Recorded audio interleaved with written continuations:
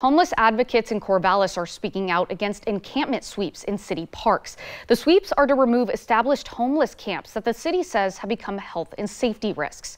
KEZI 9 News reporter Noah Chavez shows us what advocates would like to see instead of kicking people out.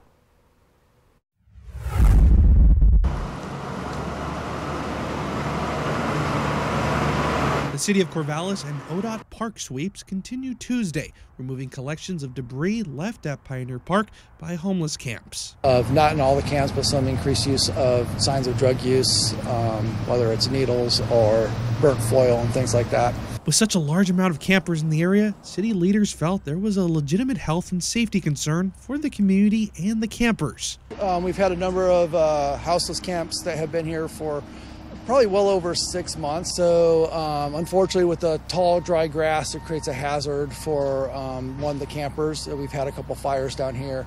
But for the many homeless advocates in the area, they felt this sweep is only making the homeless problem worse. But the people who are being swept are still here and don't have anywhere to go. Um, and so in the short term and there's we're, we're lacking really the short term solutions i would say of where can people go that's appropriate for them and their needs that while they're waiting. When speaking with the city and homeless advocates, both agree that this situation is an unfortunate one. With the amount of manpower needed, homeless advocates hope that this shows just how severe the homeless crisis needs to be addressed by the city. Uh, the city really needs to adopt a compassionate policy of ensuring housing as a human right, not a private investment which someone makes money off of. As long as housing is not a human right, then you will have people who don't have housing. It's really simple. There's no amount of housing that you can build, there's no amount of shelters that you can build, there's no amount of affordable whatever. You need to make housing affordable to people who have zero income.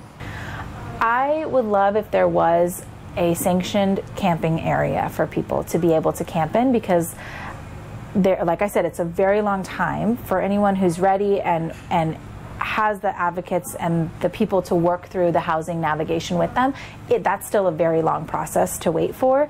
And in the meantime, people need to exist somewhere. So that we need more temporary solutions. Until the sweeps are complete, the groups say they are going to continue offering their services for anyone who needs it homeless people die at a rate of three times that of the average Oregonian.